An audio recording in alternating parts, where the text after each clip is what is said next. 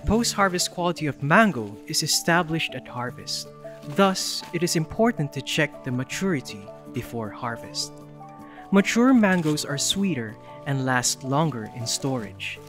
Maturity assessment involves using a simple, non-destructive flotation method to separate mature from immature fruits.